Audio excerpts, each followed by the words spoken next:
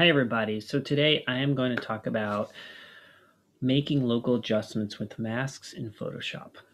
Okay. Um, so let me find an image that we'd like to work with. So I've got this image right here. And we're going to open it up. It'll open up. It's a RAW file, so it's going to open up in Adobe Camera Raw. I've already made a couple little changes in there. I'm happy with this. This is a good image to work with uh, in masking. Now, what I'm talking about is like when we make adjustments normally, whether it's in Adobe Camera Raw or in Photoshop through an adjustment layer, when we apply the effect, it affects the whole image. And what we're talking about today is how to make a local a change uh, in an image. So an adjustment layer only affects one part, the part you want to ch change. So we could do this, we could also accomplish this in Adobe Camera Raw using, say, the adjustment brush, where we could, for example, one of the issues that I have in this image is the foreground has is in a deep shadow. And so I'd like to brighten that up, but I don't want to brighten the whole image up because then I'll lose definition in the sky. So I could come here and I could just come right in here and I could brighten this up this way with an adjustment brush. But I'm going to show you how to do the same thing in Photoshop, right? Um, there's some advantage of learning this process in Photoshop because Photoshop allows you to do more advanced features, but masking and using masking with layers is something that you can always and is, and is very, very powerful tool. So we're just going to start with the basics, okay? So um,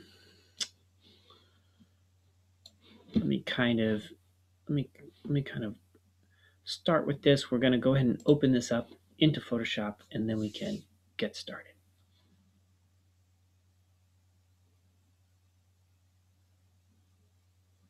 There we go. Okay, so we've got our image. Um, let's start with just a simple adjustment layer. I'm going to come down to my adjustment I, layer icon here in my layers panel, do a curves layer, right? Classic curves layer. And I'm just going to, you know, I'd like to brighten this lower area up. So I could I could just start working on the curve or I can use this little tool here, this little hand tool, and I can pinpoint an area that I'd like to brighten. So I'm this area and you can see as I'm moving my mouse around on the image, you can see a little circle within the curves window there. You can see it and it moves around so then I understand the relationship between my curves uh, layer, my curves adjustment layer and what actually where my where where my the parts of the image right? And you also notice that little histogram there because that relates. So if i'm in the dark areas it's going to be down on the lower left. If i go up to brighter areas it's going to go up uh, to the upper right on that curve.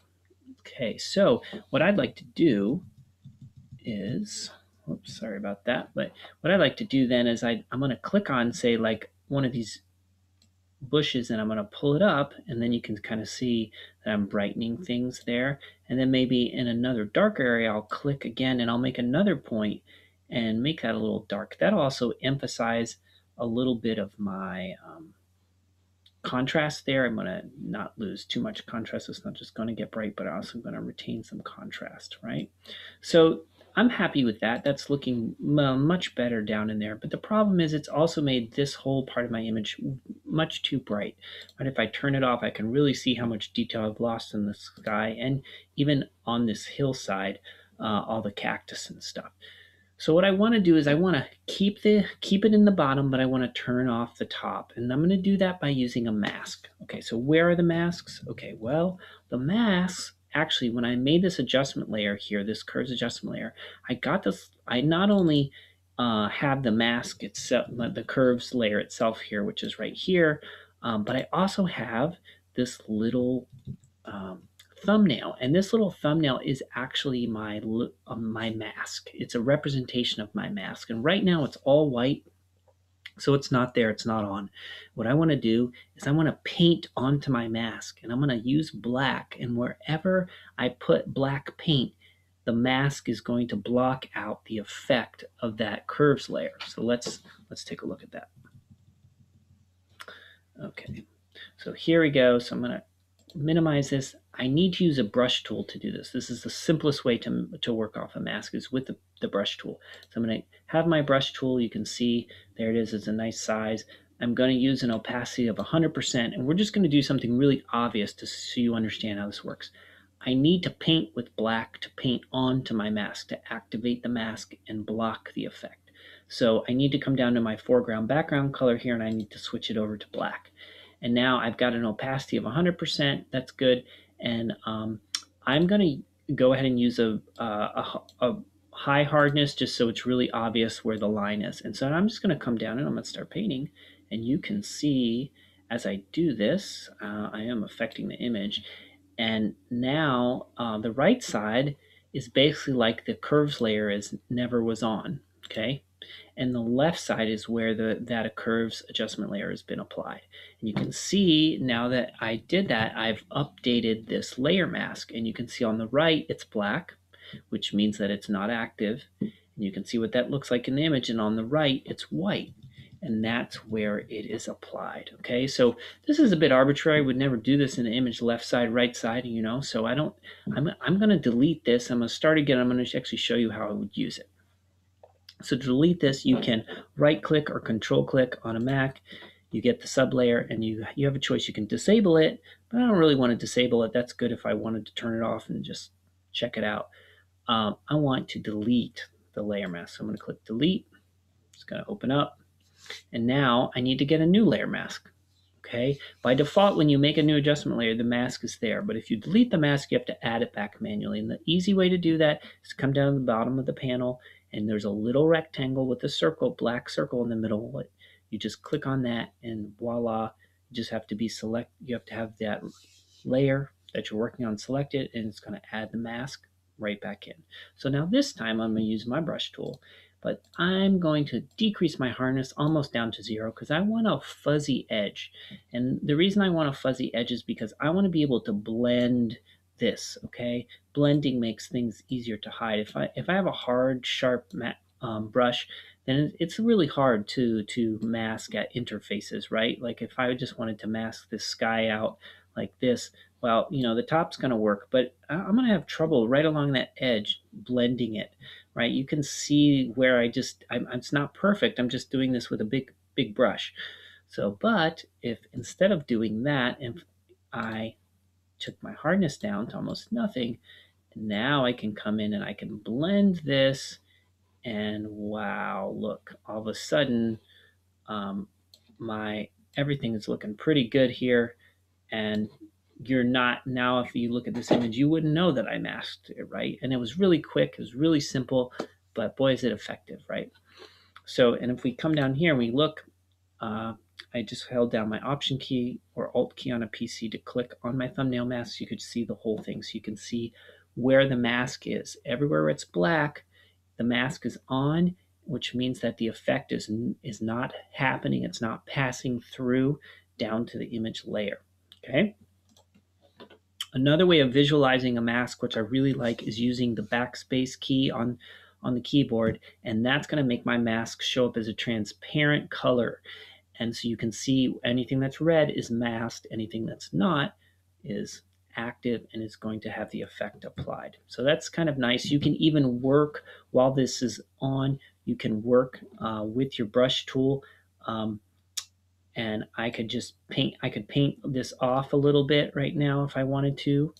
Um, you can see I'm kind of like painting it off with the white. And as I do that, my adjustment, uh, my thumbnail of my mask is also changing.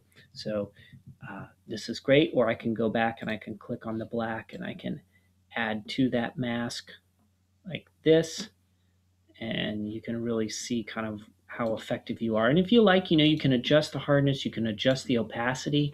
Now, adjusting the opacity is really great because um, let's turn this off just so we can see the effect, right? So we, we, we've now, the, the sky is not being affected, just the, the hillside and also my shadow area, right, with this curve. And I, I really like the way the shadow area looks. I really like that the sky is not being affected. Right now, the hillside is being affected um, it's a little too much for me. So I want to tone that down. Okay. Now I could just go come in and I could paint paint paint with my black brush in here and darken it down, you know, like basically apply the mask. So now if I look, you know, you can see the mask is all the way down in here. But you know, the problem with that is it's like, well, that's not bad, but it's just a little bit too heavy. It's a little bit too too dark. I'd like I would like to brighten that up a little bit. Well, I can do that with my mask instead of using I'm still going to use my black and my white colors. Always use that when you're when you're painting masks. That's the way to go. But what you can do is you can adjust your opacity up here. So instead of being at an opacity of 100%, maybe I'll be at an opacity of say 30% or something. And now I could come in and because this is already on, right, like my mask is right there, what I could do is I'm, I'm going to go back to white so I can paint some of that mask off. But I'm only at 30% opacity, so what's going to happen is it's just not as intense as it used to be.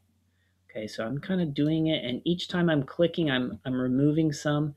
One of the ways that the, the brush tool works is if I'm clicking and holding and keep going over an area, it's not going to keep taking off more and more of this 30% opacity. It's going to take off a little bit. Now it's a little hard to visualize what's actually happening here. So I'm going to turn my mask back off so I can see. And I'm going to turn this whole thing off. And now I can see this is the way the image was. and then this is when I applied the effect. So I've, I've added some light but it's not nearly as bright as if I, I'm going to go in and disable the mask. Now you can see that's with all the way bright on that hillside. So I am, I'm still taking off, whoops, I didn't mean to delete it. I wanted to, whoops, I wanted to, I'm going a little too fast. Um, hold my, there we go.